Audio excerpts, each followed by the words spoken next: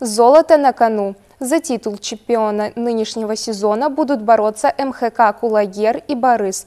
Команда Ильгиза Нуриева уверенно вошла в историю петропавловского хоккея, впервые завоевав путевку в финал чемпионата Республики Казахстан.